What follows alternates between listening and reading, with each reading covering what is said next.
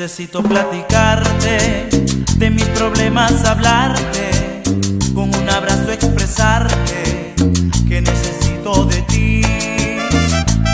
No es momento para hacer una llamada, quizás estés ocupada,